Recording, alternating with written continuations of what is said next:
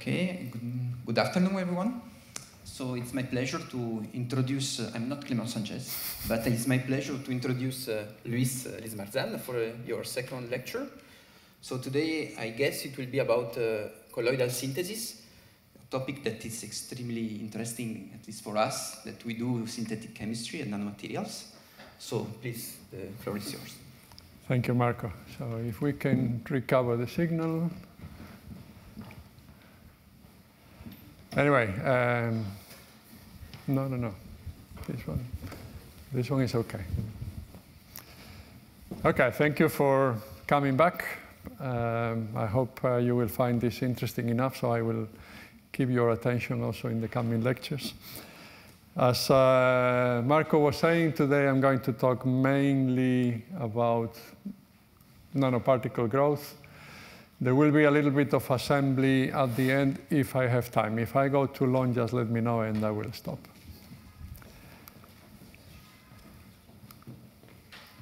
Okay, so a little bit of general introduction. Uh, those of you who are familiar with colloid chemistry have already probably seen this graph or a similar one uh, many times, which is related to some of the mechanisms that can be involved during the growth of particles in dispersion.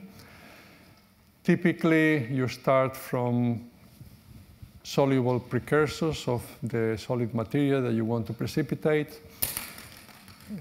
And then uh, there will be the so-called uh, solubility limit and the nucleation threshold at different concentrations of the soluble material.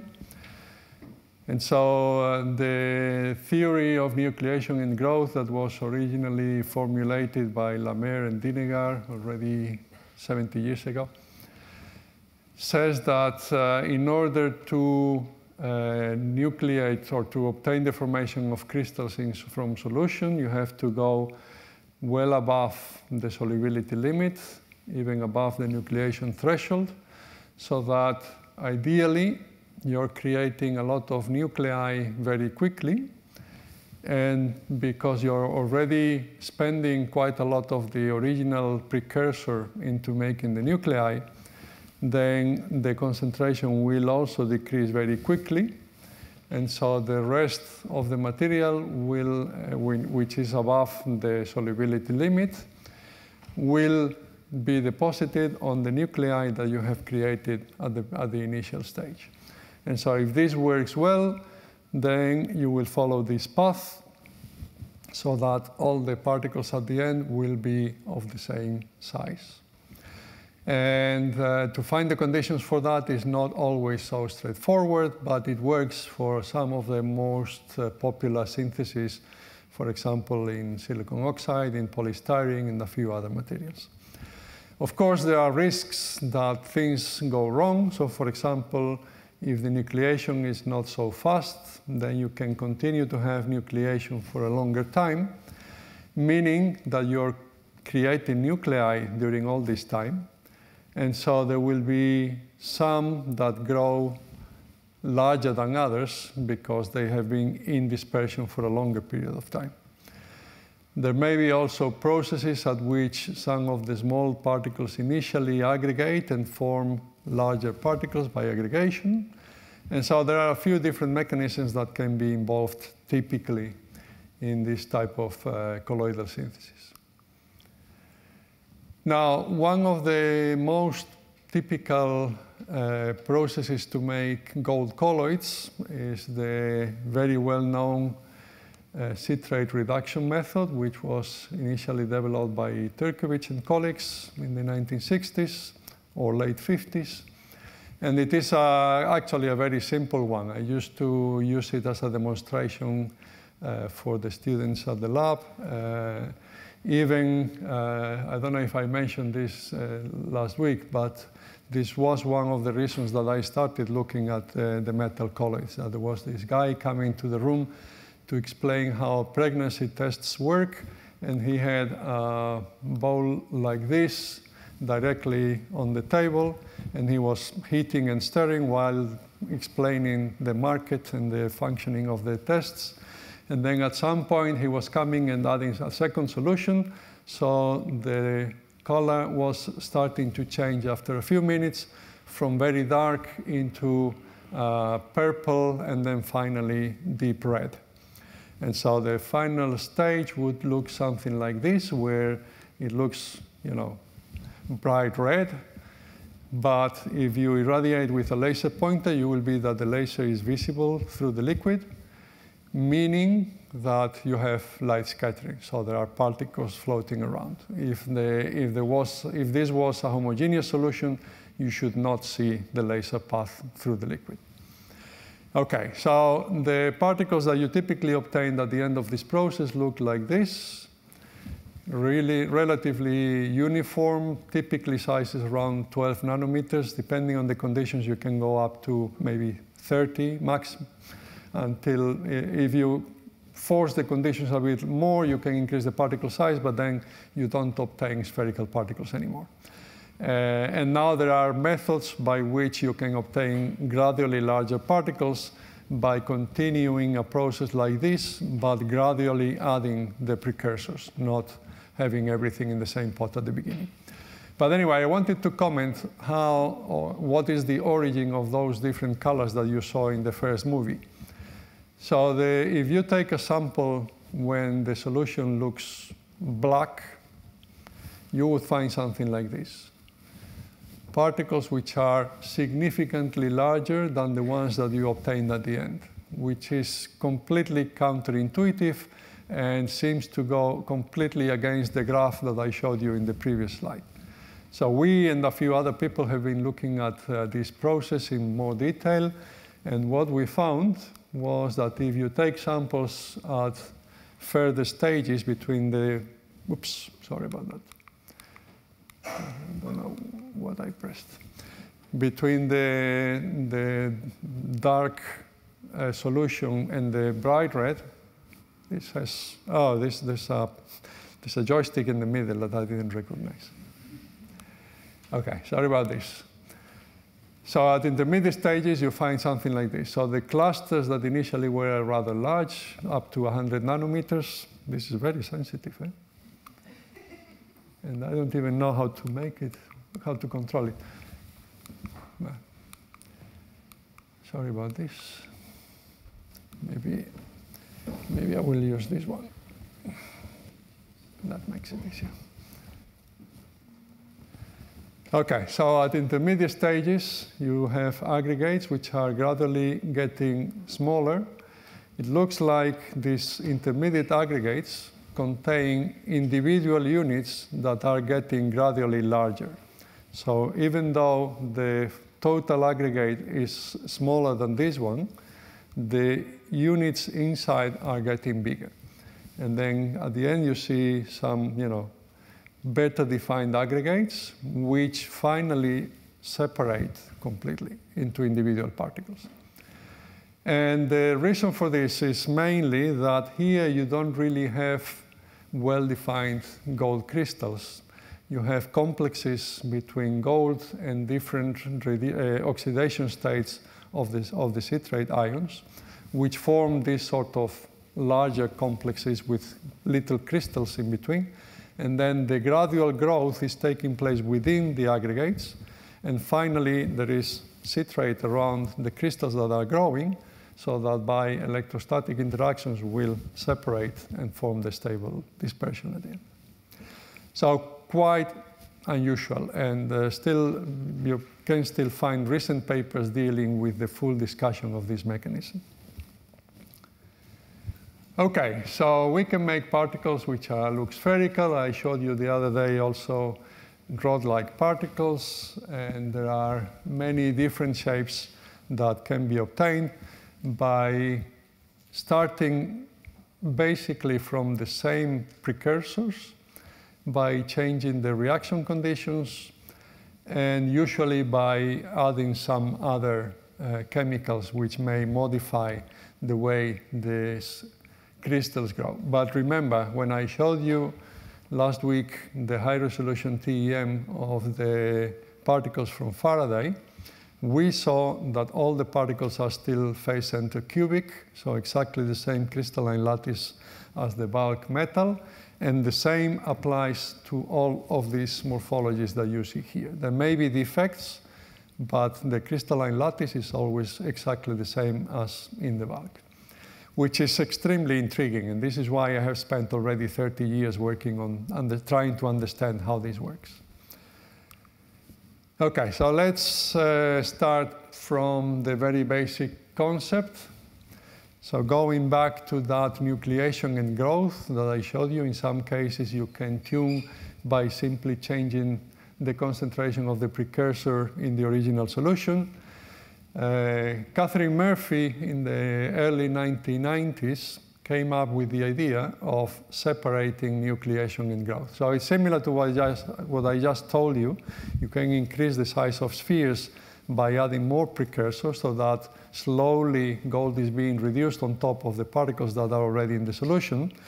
This is exactly the same concept, but trying to induce anisotropy during the, the second growth. And so the idea is you first use a strong reducing agent. Again, the joystick, I didn't do anything um, you, you, use a strong reducing agent like sodium borohydride, very well known for organic chemists. And then uh, you quickly form very tiny particles, which actually the quality here is not good enough. But uh, trust me, in the places where you see these lines, there, is, there are little crystals which are single crystallines. And they are formed by this very quick reduction and stabilization with a surfactant which typically is this cetyl trimethylammonium bromide I'll show you in a minute. And so you have this uh, dispersion of very tiny particles, typically one to three nanometers maximum, which are stable for some time. If you leave them uh, in solution for, say, one day, you will have much larger particles tomorrow. So you have to use them rather quickly. And then uh, you simply mix this dispersion with what we call the growth solution, which is a mixture of, again, gold chloride, same surfactant, and then a weak reducing agent. And I didn't write it here, I don't know why, but in an, in the next slide similar to this, you will see that for this particular process, the one you see here, we also add a little bit of silver nitrate. And I could tell you the whole history of the thing, but then I would never finish. Uh, so this is all described in the literature, why we are using silver. Not so well how the silver works, but I will try to give you some possible ideas also during the lecture. And so by doing this, you obtain very uniform dispersions of almost pure dispersions of nanorods. So very few spheres if you th do things properly. And uh, because we are using this surfactant, I, I think, I, well, I, I may be mixing up lectures because I, I have been giving lectures in other places be, between the last, last week and this one. But uh, anyway, uh, we are using this surfactant, which attaches to the gold surface through the quaternary ammonium head group, which has more affinity chemically. And then if you uh, look at this, then this should be on the surface of the nanorod, and then you would have a completely hydrophobic tail that would make the particles you would think stable in organic non-polar solvents.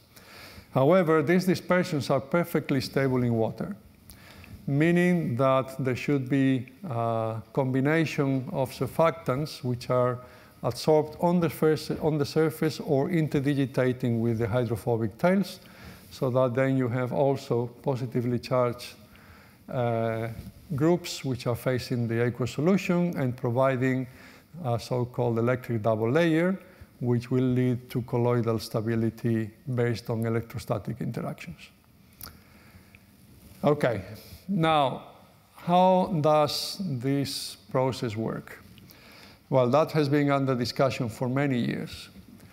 In fact, uh, Murphy came up initially with this idea uh, that because this surfactant can form uh, cylindrical micelles in solution, it may act as a sort of template that would favor the growth in one direction because as soon as the particles are getting longer, these micelles would wrap and protect the growth in other directions. Uh, this is not really making a lot of sense because the concentrations of surfactant that we are using are very well below the concentration that you need to create these cylindrical micelles. Okay? Then uh, we did some work together with uh, Paul Mulvaney, good friend in Australia, University of Melbourne, and together with a couple of theorists also in Melbourne. And the discussion was typically what you need to reduce gold chloride on the surface of a growing particle is you have a complex between the gold chloride, which typically has first been reduced from gold 3 to gold 1 by the ascorbic acid. And then this is complex to the surfactant, which comes as a sort of micelle with adsorbed gold chloride ions. And then this comes to the part which is easier to reach. So you, you imagine the particle in solution floating around, and this micelle is also floating around and coming where the interactions with the growing particle will be more favorable.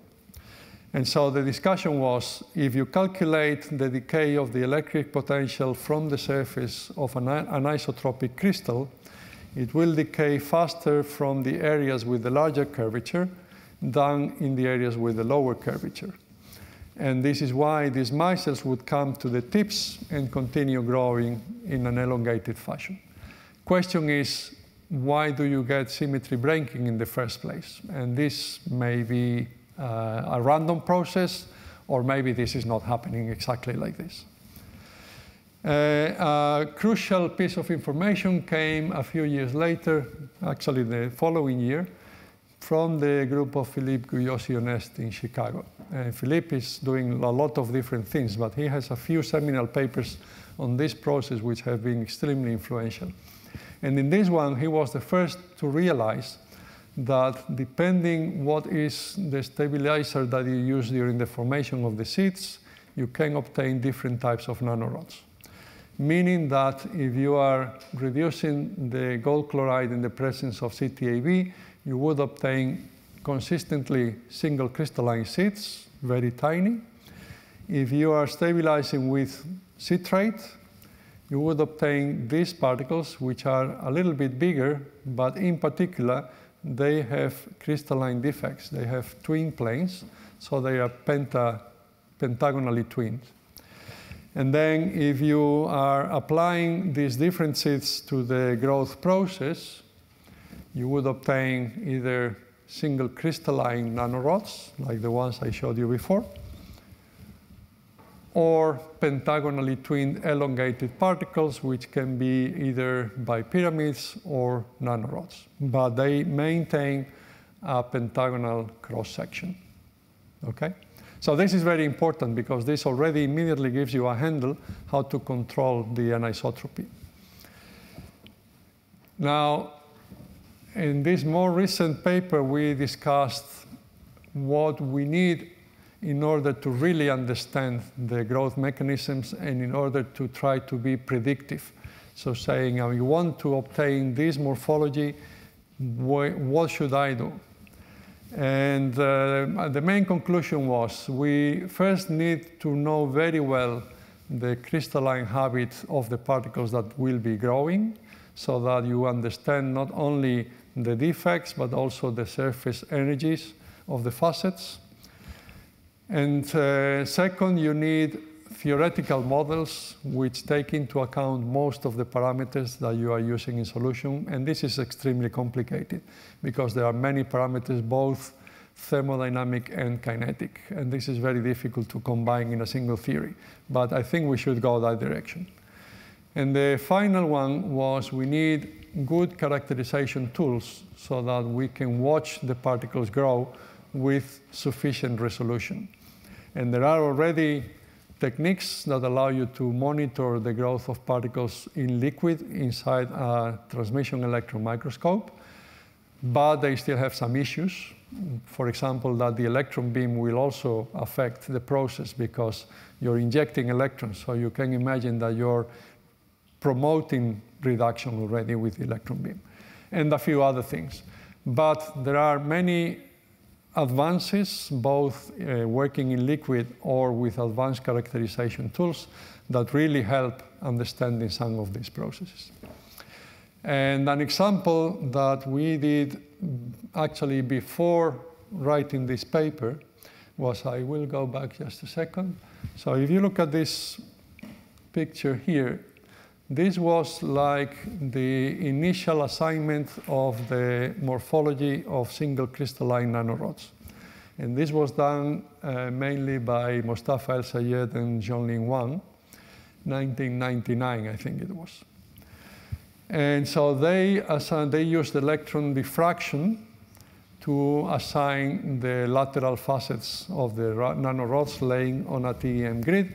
And they said the tips may contain 111 facets, but the sides are a combination of alternating 100 and 110 facets. Okay. Now, coincidentally, we were doing some work where we found a way to obtain standing arrays of gold nanorods. And so we were able to obtain these arrays on TEM grids meaning that what you see here are not spheres. These are the cross sections of nanorods which are looking at you through the tip. Okay? And this you see because these two other pictures are exactly the same area just by tilting a little bit the TEM grid. So you see that the particles are getting elongated because they are nanorods. Now, if you do this properly with much care, you can actually align the electron beam with the crystalline lattice of the particle in a way that you obtain high resolution through the cross section of the entire nanorod. And then you can assign facets based on the Fourier transform of this lattice, and also you can measure very carefully the angles between the different facets. And by doing that, what we found is that in most cases, the majority facets are this high index 250. Uh, and actually, there was an almost simultaneous paper by my friend Paul Mulvaney, published in Nano Letters, where they assigned to 1250, which is a very similar type of facet. And uh, this was very coincidental because in 2010, August, I was visiting Paul in Melbourne. And I, I came to him and said, Paul, you wouldn't believe it. We found these facets and they are not what was claimed before. And he said, we know.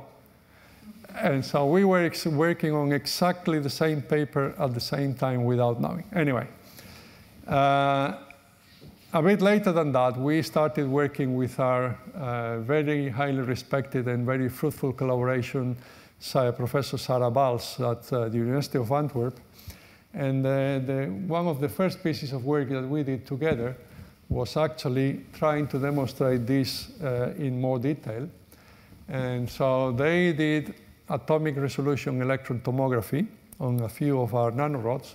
And they indeed found that you can assign the 520 or 250 facets by basically looking at the position of every atom and reconstructing the morphology of the nanorods. So if you now look at the morphology, one, some, one thing that is actually supporting this claim is that the size of these facets is almost identical.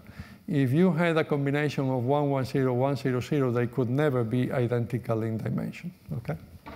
So this is important uh, because the reactivity of the different facets is also different.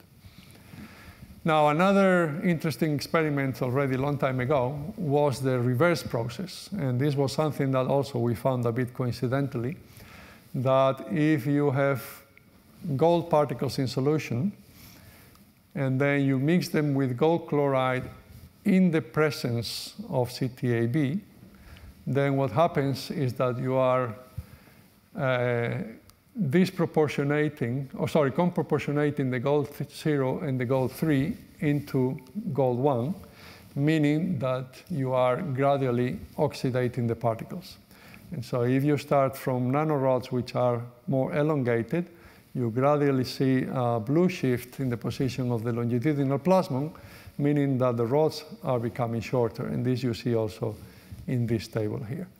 And this is also quite interesting because it means that, again, the micelles that are transporting the gold 3 to the gold 0 particles are coming selectively through the tips. And so does this depend on the coverage of the surfactant on the rod? Does, this, does it depend on the decay of the electric potential? Does it depend on the reactivity of the different facets? This is something that we don't know exactly. Um, so we also did some attempts to uh, use theory to explain at least the final morphology that we have. And so this we did in collaboration with uh, Professor Nuria Lopez at the SIC in Tarragona. And Nuria is an expert in doing uh, DFT, density functional theory, calculations of surface energies. And so she calculated the different facets, uh, some different facets of, of the gold lattice, uh, the FCC, uh, both naked and covered with different halide and halogens. And so uh, they found that if you look at the neutral halogen, there are very, very little differences between the uh, facets with the, the, the neutral halogen adsorbed on the surface. But if you look at the halides, at the ions, then there are huge differences between the different facets. Uh, sorry, between the different ions. Uh, so chloride, for example, is absorbing much weaker than bromide, which is almost neutral, and iodine is, is absorbing much more strongly to the metal surface. Uh, second, you see here that looking at the ions, it's quite interesting that for all three halides, the lower, the more negative binding energy corresponds to the 5 to 0 facets. And so with this, you can start looking at what happens in 3D. And so uh, we start typically by this model seed, which is a cuboctahedron, which is the typical morphology of the single crystalline seeds.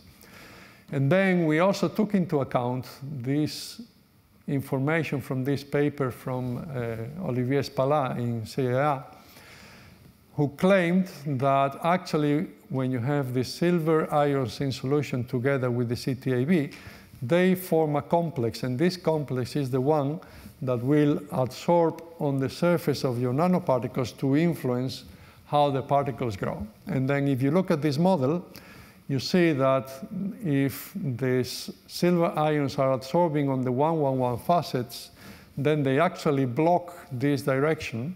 And so you can have direction uh, growth only on the facets that are available for the gold ions to come and be reduced. And so by, again, doing the calculation of the surface energies in different steps of the absorption of the silver CTAB complexes and the approach of the gold ions to the surface, what you find is that the 5 to 0 are the facets that are decreasing energy continuously.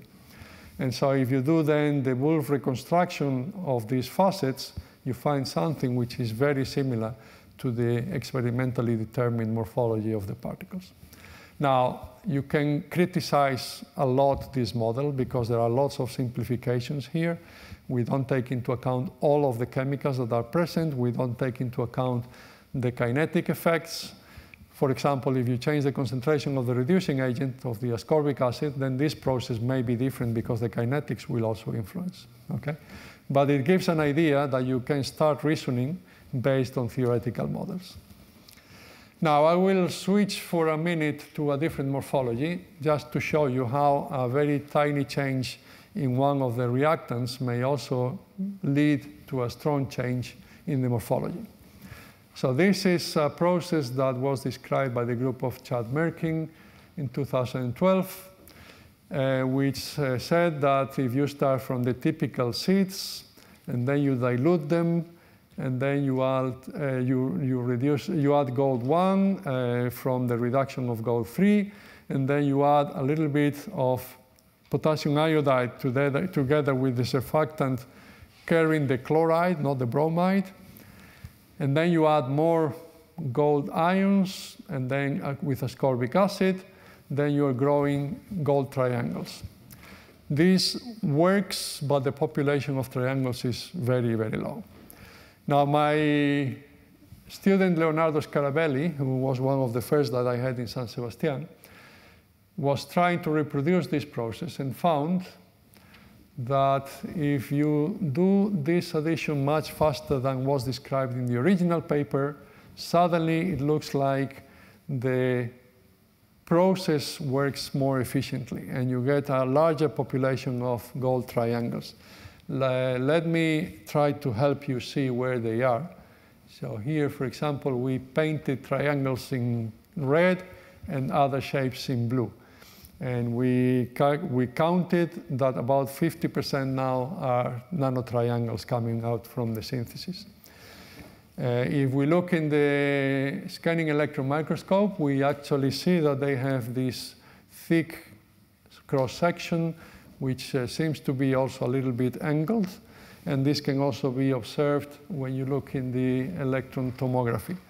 So you see the, the lateral facets are all very flat, but on the sides they actually form a sort of angle, which also uh, indicates that in between the two facets there is also a twin plane which is parallel to them in the middle. Anyway, if you now purify this process by using depletion interactions, uh, just as a reminder, these are some of the most popular uh, um, colloidal interactions that you may have. So I already mentioned electrostatic based on the overlap of the electric double layers. There is, of course, the steric when you have hydrophobic particles in an organic solvent so that the stabilizing ligands will avoid the collision between the particles. And this is one which is actually a, bit more difficult to understand. So this is based on entropic interactions when you have a large population of small particles in contact with a smaller population of larger ones.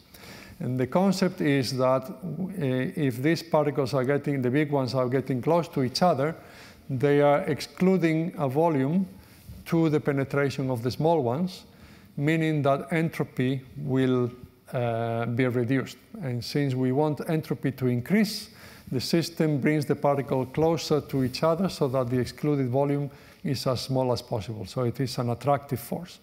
And it works mainly for larger particles and it works also mainly if you have flat surfaces.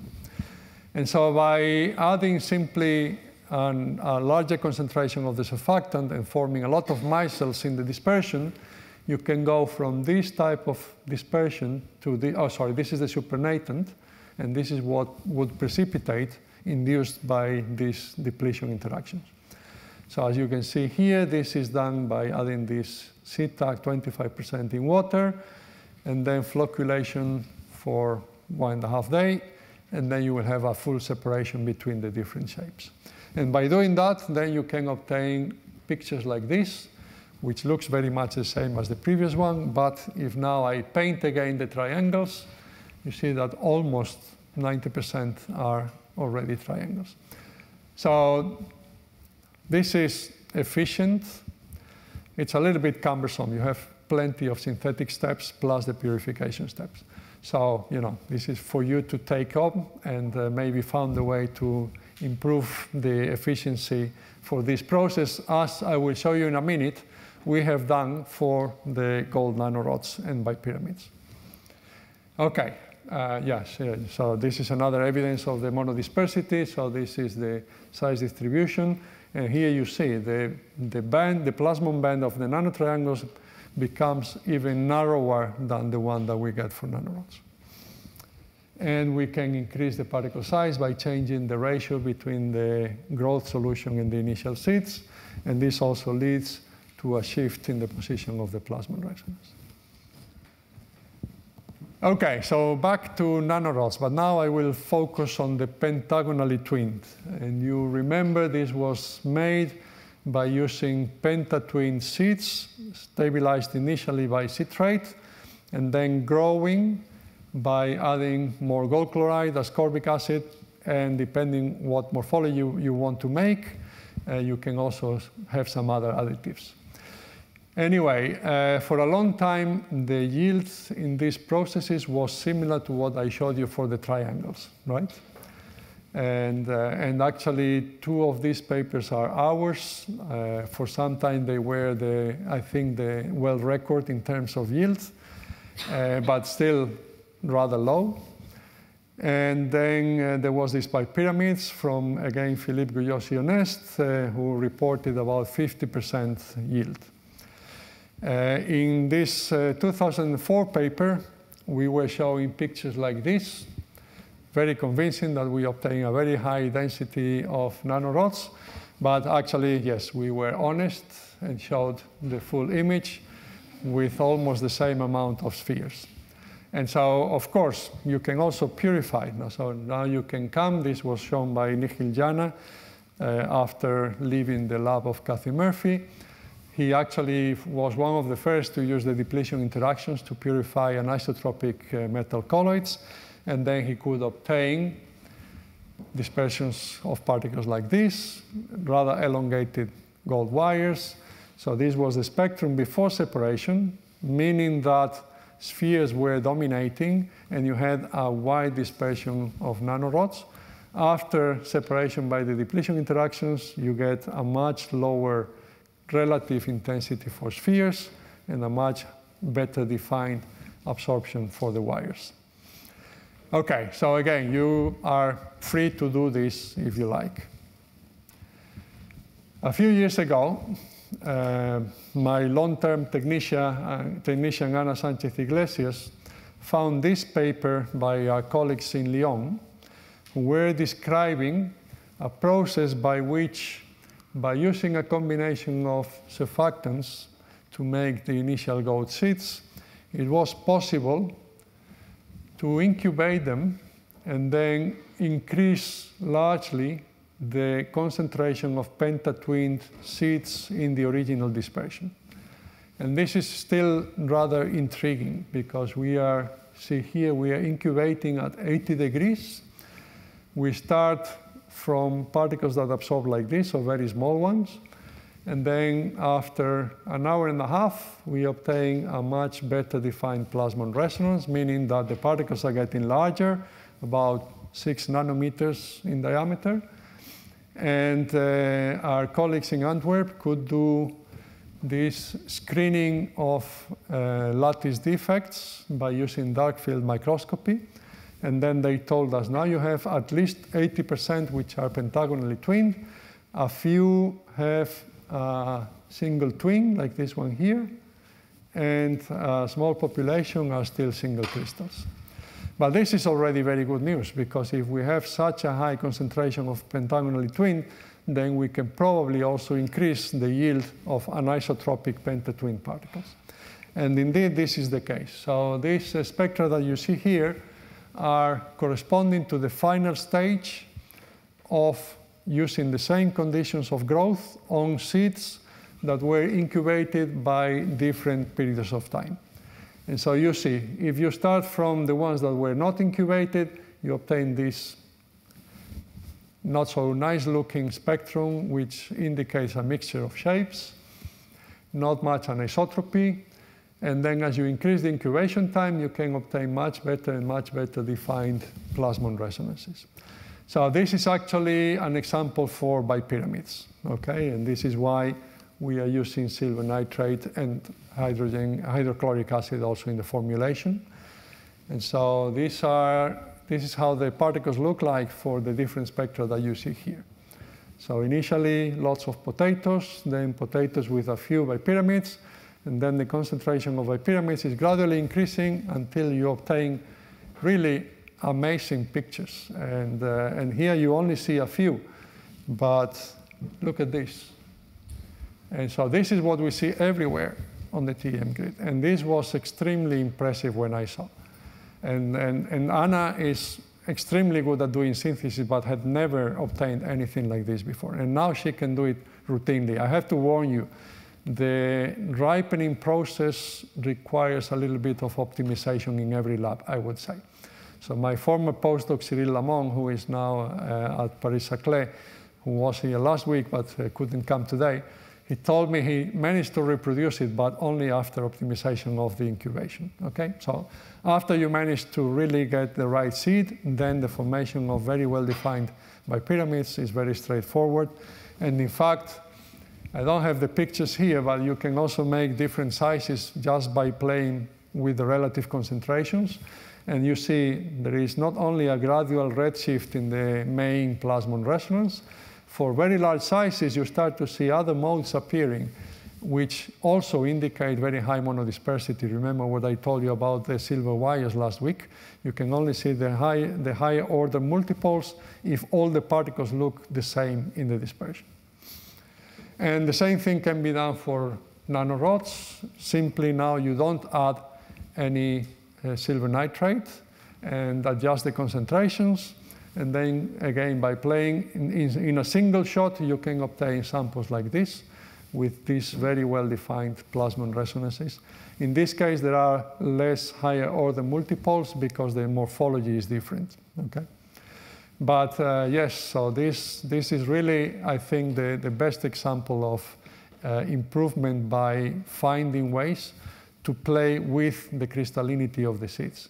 So in the case of the nanotriangles, if you were able to obtain a very high yield of single twinned seeds, you can probably obtain a very high yield of the nanotriangles. Now, another advantage of using these seeds is they are bigger, so they are much more stable than the one, two nanometer seeds I mentioned earlier. So these you can actually store for a long time and then still use for synthesis. But also, you can coat them with a little bit of palladium.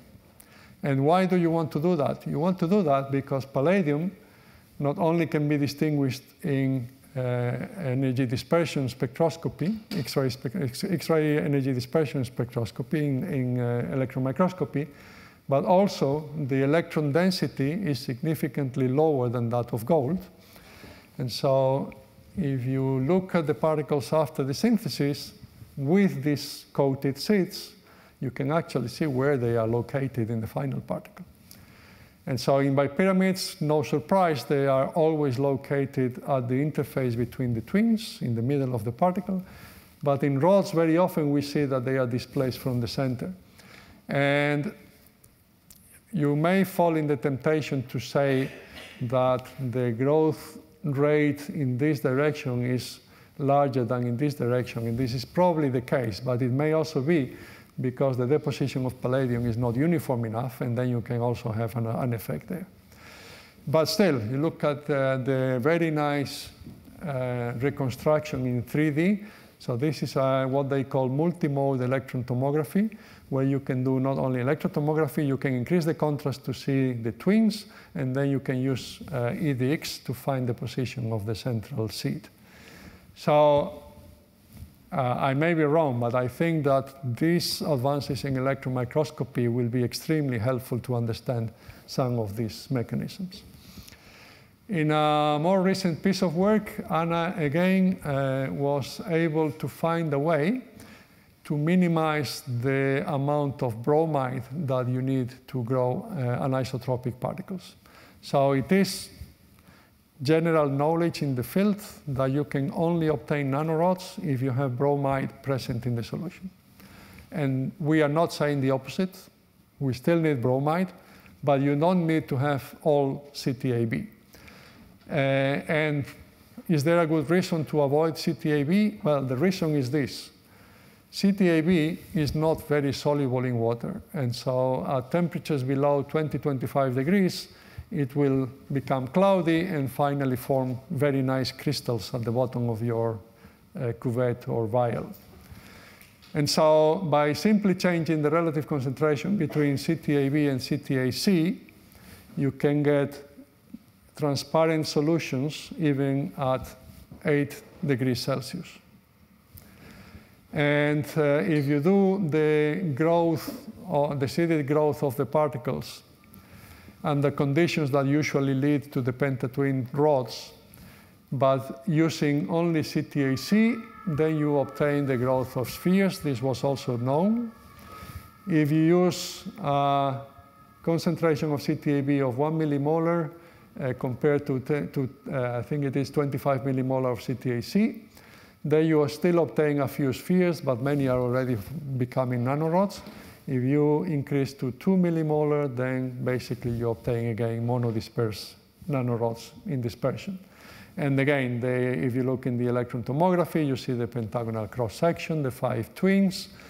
And uh, not only that, actually, by playing with temperature, you can play with, you can modulate the final aspect ratio of the particles with exactly the same conditions meaning that if you're starting from the, from the same number of seeds, but just by changing the growth temperature, the particles have to become either thicker and shorter or thinner and longer because you have the same amount of gold in every particle, right? And so this is a really nice way of modulating the aspect ratio without changing the reaction conditions except for the temperature. And it also tells you that kinetics is playing a very important role in the growth of these particles. Uh, so the, here actually these are two examples for two different concentrations of uh, the reducing agent, ascorbic acid. And you see for a lower concentration of the reducing agent, you can even go to very long nano, nanorods because the process is slower with a larger concentration, you are restricted to a narrower range of aspect ratios because the ascorbic acid itself is increasing the reaction rate. And this is also what you see in these plots here. So these are kinetic traces for different concentrations and different temperatures. And you see that there is a combined effect of the reducing agent concentration and the, and the temperature of the solution. So one more parameter that you have to be careful about, but that you can also use to tune the morphology of your particles. Okay, so I go back to the single crystalline nanorods. As I mentioned, we need to use now a little bit of silver nitrate. And already from the discussion before, you have a hint why it may be important to, to have the, the silver nitrate. Again, if you are doing things correctly, you should be able to obtain pictures like this. And uh, by changing the ratio or different parameters, you can also tune the dimensions and the, and the optical response. So this is the reference where you can follow all of the tricks that we know. And usually people find it useful. So uh, feel free to have a look. Now, a little bit more on the effect of different parameters and the, and the growth of these particles. So, um, first of all, we have the bilayer, and I already spoke about this last week, and I briefly said uh, also at the start of the lecture. And I already mentioned last week that there were bulk measurements by the group of El Sayed 20 years ago, saying that the results of infrared spectroscopy and thermal gravimetry agree with a double layer. In our own analysis, which was also from bulk samples, a combination of small angle X-ray scattering and small angle neutron scattering allowed us to measure separately the dimensions of the rods by fitting the SAXS curves and the thickness of the surfactant by using SANS, doing index matching between the solvent and the metal, and then finding the, the average dimension of the shell, which comes out to be a little bit smaller than what you get for bilayers on thin films. Uh, meaning that either uh, you have a um, larger degree of interpenetration between the tails, or you have incomplete uh, bilayers. Uh, so you can play around also with the composition of the surfactant, and this is what uh, Guillermo González Rubio, another bright uh, student, who is now a junior group leader in Germany at University of Constance, he came up with the idea of using a simple co-surfactant, which is known to influence the rigidity of the layers formed by the CTAB. And so uh, he proposed, first of all, to use this combination in order to restrict the growth of the gold nanorods to very small sizes.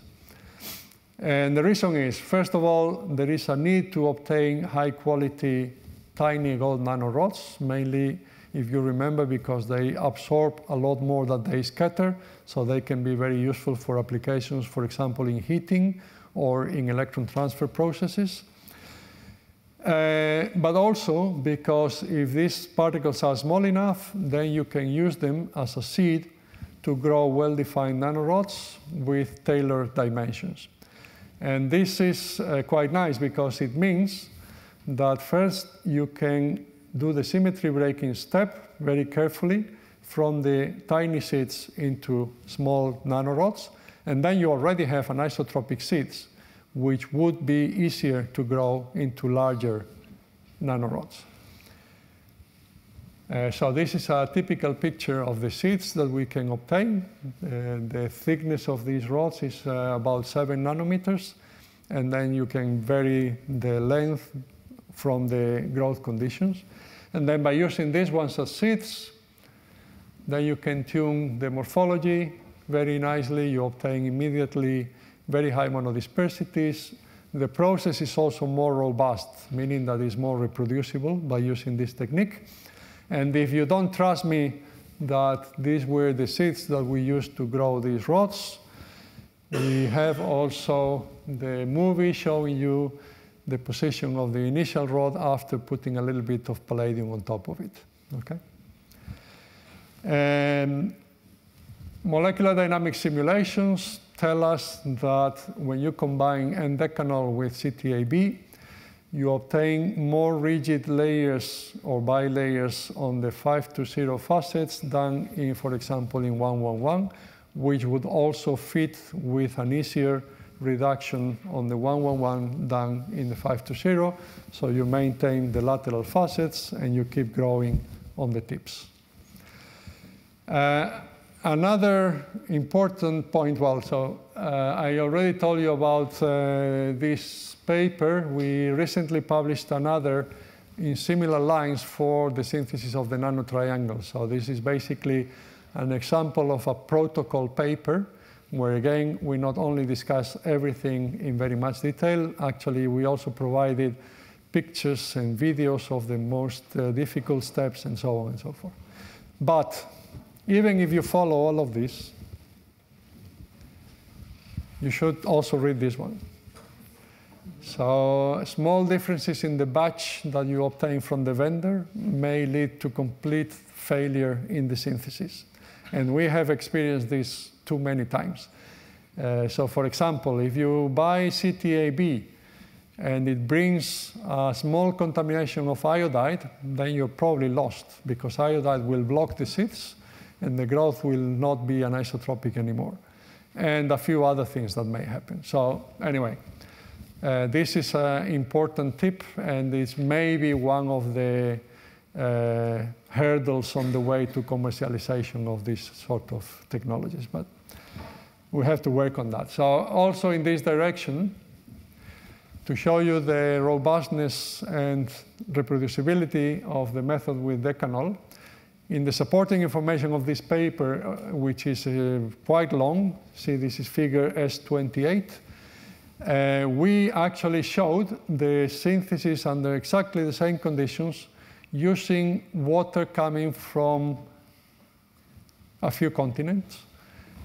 So uh, labs of friends who were shipping water over the ocean, uh, DI water, uh, because we know that if you change from one lab to another lab, the quality of water may also influence the synthesis. Even the pH of the water may influence the synthesis. And so by, doing, by using these vessels of water without changing anything, we were able to obtain this type of reproducibility which I think is even remarkable for standard synthesis in the same lab. Okay. Now, something a bit more a bit different. How much time do I have? Oh, it's uh, still, uh, still, okay. Okay, uh, so I will go a bit quickly if, so I can tell you also a bit about, about assembly. So this I already mentioned last week, finding uh, optical activity in metal particles and trying in particular to fabricate particles which have this structural anisotropy. Actually, yeah, I, am not showing today the slide on the work of Professor Nam, but I can tell you a little anecdote. Uh, this morning, I was in, my, uh, in the apartment that was uh, uh given to me for this month uh, by the Collège de France, and in one shelf I found a pile of magazines, mainly the magazine of the Collège, but I was browsing and I saw there was a, an issue of Nature. I took it out. It was exactly the Nature where the Nam's paper was published, where you can actually read my name as one of the referees. So I don't know if Clement has something to do with that, but uh, this was a, a, a very funny coincidence. Anyway, so let me tell you about our own way of making chiral particles. And the inspiration came initially from this paper where they demonstrate that by mixing CTAB with this type of chiral co-surfactant, it's called binol, then you can obtain at the right concentration, you can obtain worm-like micelles in solution which have some helicity, so they actually display circular dichroism from the scattering of these objects.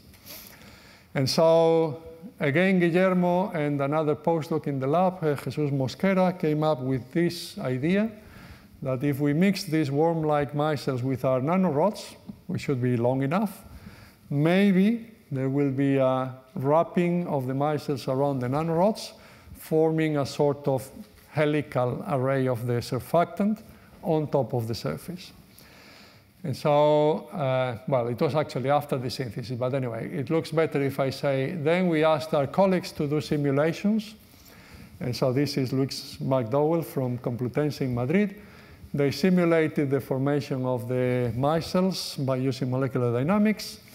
This is a sort of analysis showing the helicity of the micelles. And they also simulated the adsorption of the micelles on a gold cylinder which shows a sort of quasi-helical adsorption, both for binol and for binamine. And binamine we like better because it contains amines, so we thought it will bind more strongly to the surface of the metal.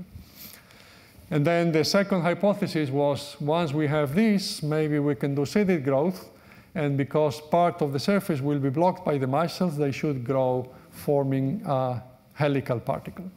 And of course, this is already an experimental image. We obtained, well, they obtained particles like this. So starting from these rods, as you see, completely uniform, by growing in the presence of binamine and CTAC. If you use CTAB, it doesn't work. Uh, and then uh, this very nice electron tomography from our colleagues in Antwerp clearly shows that there is this sort of templated seeded growth. If you change the relative concentration between gold and the nanorods, you obtain the same thing, but longer mm, or longer grooves on the surface, and you can even make thicker ones. And this I find extremely remarkable. So with the experience that we have on making particles, we never expected anything like this. Because you have to think that these, the dimensions of these lines of metal are a few nanometers, and they are separated also by a few nanometers between each other. So they have to be extremely well defined, and there has to be something in between that blocks the connection between them. So let me show you just some a bit more beautiful reconstructions. So if you look carefully, you will see that in some areas you see very well defined tilt in the grooves, which indicates the sort of helical array that we were expecting. Uh, if you use spheres, you see something which is not so well defined. But uh, in fact, this also shows some circular dichroism. Uh, so this I already showed you last week. By increasing the thickness of the grooves, you can switch the circular dichroism to the near infrared, which fits quite well with the theoretical model. And by using the different enantiomers of the co-surfactant, you can also obtain the two enantiomers of the helical nanoparticles. Okay, so quickly I move to a little bit of self-assembly. And I will restrict myself to self-assembly in dispersion and uh, to using uh, this type of hydrophobic interactions among the whole family of interactions that you can use to promote not only assembly but actually reversible assembly between nanoparticles. So you see there are plenty of parameters that you can play with. For example, metal ions when you have surfactants that can form complexes, so you can link and divide. Uh, you can use temperature, for example, in the famous DNA self-assembly, because you can promote the hybridization of the DNA strands or denaturation and then separation. Uh, light by switching these uh, uh, ligands, which can change conformation de depending on the irradiation redox processes, and so on and so forth. So this is our system. We have hydrophobic gold particles coated with thiolated polystyrene, and usually we disperse them in tetrahydrofuran. And they are very perfectly stable in solution, or in dispersion, I should say. And then if you dry them on a TEM grid, they form these beautiful 2D arrays uh, because of the hydrophobic interactions between them. By playing around with the molecular weight of the polystyrene, you can actually tune the separation between the particles after the deposition. So this is actually quite a nice system to work with. Now, what happens if you have these particles in THF and then you add slowly some water on top of it? So water is more or less miscible with THF, but much more polar. So what happens is that you start to screen these hydrophobic interactions, oh, sorry, these uh, repulsions, and then uh, you obtain clusters that are gradually increasing in size with time. And so if you take samples at different times, you see smaller, larger, and very large clusters. Uh, it's actually quite interesting to see that they also look to be well organized when you dry them on the grid. But uh, if you look uh, now at these samples in electron tomography, you actually find that they are basically flat on the surface of this TEM grid, uh, which we don't believe happens in solution, right? So in dispersion, you don't expect them to be flat floating around.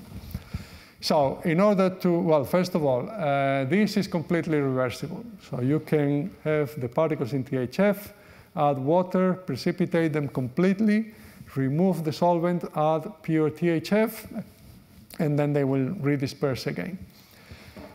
But you can also think about protecting them by using the same uh, trick that has been used in several occasions to transfer hydrophobic particles into aqueous solution.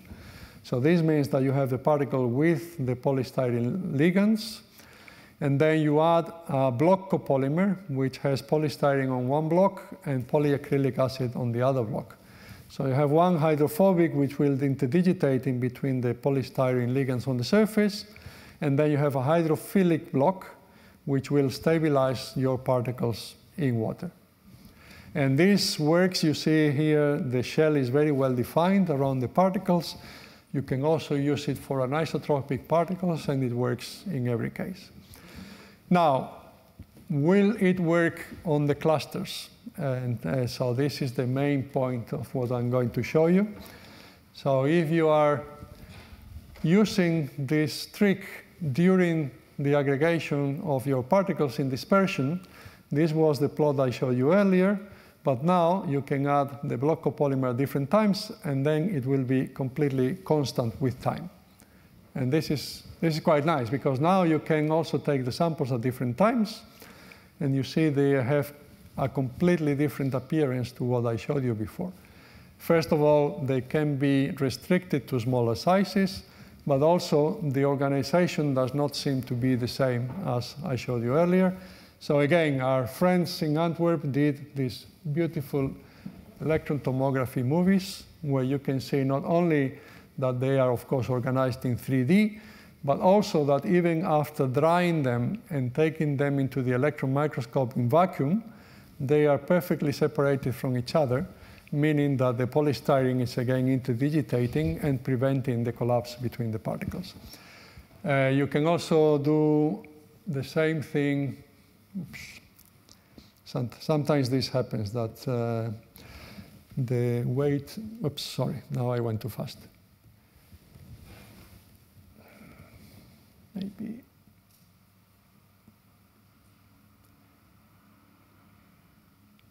So this is what uh, you find when you're using particles which were coated with polystyrene of different molecular weights. So again, like I showed you on the 2D, in 3D also the interparticle separation is defined by the length of the polystyrene chain. And the same as I showed you earlier, even when they are protected, you can also make this completely reversible. So you can transfer uh, from THF into water, and then you can uh, add more THF and disrupt it, and then pure THF, and they will redisperse into individual particles. The forces can be defined like this. So when you have the particles with polystyrene, you have one uh, repulsive component, which is the sort of hydrophobic forces, uh, you have one attractive component from the van der Waals attraction, and then you have another hydrophobic com uh, repulsive component from the hydrophobic forces, which depends on the uh, dielectric constant of the solvent. Okay, uh, you can also try to do a model which is a bit more simple by using this simple uh, uh, interaction potential and then introducing it into a Monte Carlo modeling, uh, you can obtain a phase diagram with the organization of the particles into clusters of different sizes, depending on the attraction and the dimensions, the length of the protecting layer, and the dielectric constant. And then you can do the simulations, and now you tell me which ones are the simulated ones and which ones are the experimental uh, pictures. Right, so it's not so difficult because these ones are more spherical individually, right? But the, the, the, the prediction is amazingly coinciding with what you obtain from the electron tomography. So this again gives you a sort of predictive power. If you're able to manipulate these parameters that I mentioned, then you should be able also to define what type of cluster you're going to obtain. And again, as I showed you for single particles, this can be done for particles of different morphologies. These are drawings, but these are also experimental uh, electron tomography images from gold dumbbells and from gold nanostars together with magnetic nanoparticles combined. So no time to explain this. Let me just tell you one little piece of the story, which takes this type of materials a little bit farther and maybe Uh, Cedric will like it better because I will have some porosity. Okay, so you know this part of the story, right? And now the idea that we had was now we are going to encapsulate it with a rigid capsule. So let's grow silica, but leaving pores so that we can extract the block copolymer. And then we have a sort of, how you call it, this game for kids, you know, you can make noises. Uh, so in fact, the funny thing would be that now you would have the walls of the silica, which would be hydrophilic, in contact with the ligands on the particles which are hydrophobic. And then you can play with the organization of the particles inside of the capsule when you're changing the solvent. So this is how the particles look like. So individual particles, the clusters capped with the block copolymer. And here, if you look carefully, you will see that there is another layer with some lines in between, not so easy to see here. Uh, maybe the next one. So here you see it better, right? So this is something that Cedric now can recognize. All right, so we have the system that we wanted. Uh, we can also do elemental analysis, and everything fits well with what we expected. And now these particles which are stable in uh, polar solvents can be dispersed again in THF, and then you can remove the block copolymer because it is soluble, and it fits through the pores of the silica wall, but the particles don't. And so you start to see already that there are some changes in the spectrum with time. And if you look at the samples in the electron microscope, you see that the contrast is different before and after extracting the block copolymer. And also, the particles here are well organized because they cannot touch each other, but here they are only restricted by the polymer, which is actually even collapsed because it is in water. Uh, you can also look at changes in the color, and now it's much nicer than before because now the, uh, the clusters are always exactly the same. They cannot change because they are encapsulated by the silica shell. And so this is completely reversible, you see here. Okay, so simply changing the solvent with exactly the same particles, you find perfect reversibility in so many cycles. Uh, you can also watch uh, the particles and the different solvents. So basically, by drying quickly the, the system from the organic solvent, they would expand again, and in water, they would collapse again. And even you can play this trick reversibly by simply THF vapor. So you have the particles on a glass slide, warm THF, they redisperse like this, and then you take them out, THF evaporates, and they become blue again because they organize inside of the capsules. So I don't know what this will be useful for. Maybe you can find, come out with an idea, but at least it's a concept that I think is quite interesting uh, as a general idea. So with this, I finish. Again, thank you very much, and uh, I hope I will I convince you that to come back next week. I'll be happy to answer questions.